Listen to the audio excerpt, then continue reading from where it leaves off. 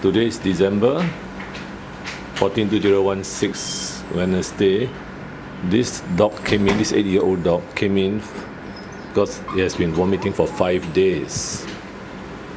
Yellowish, frothy liquid and yellowish with some hairs inside and it has been still been fed so that's why it kept on vomiting and uh, so the owner came we, we gave a Hartmann solution plus uh, antibiotics plus anti-diarrhea.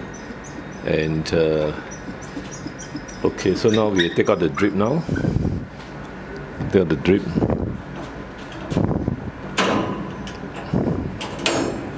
Yeah, okay go ahead the drip.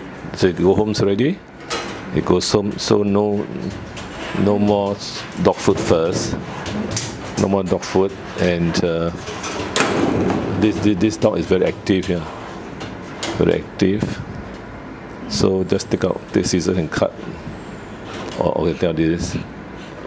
It's a very active dog, and uh, the owner was uh, feeding all the time. So even though he had diarrhea, so not not diarrhea, vomiting is vomiting.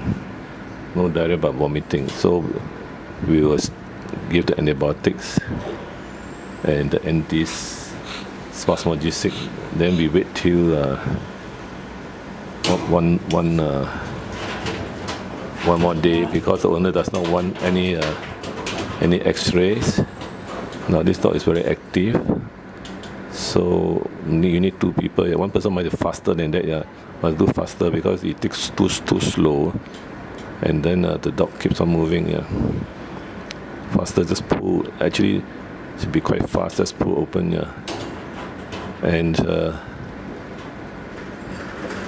the plaster is taken out and then the catheter is taken out.